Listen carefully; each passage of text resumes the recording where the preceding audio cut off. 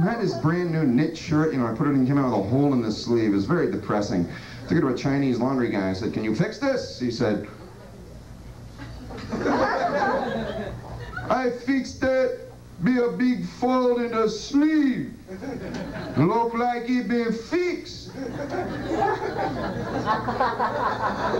you leave it like that.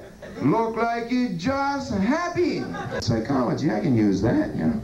Mr. Beasley, your phone bill's overdue. You leave it like that. Look like it just happened.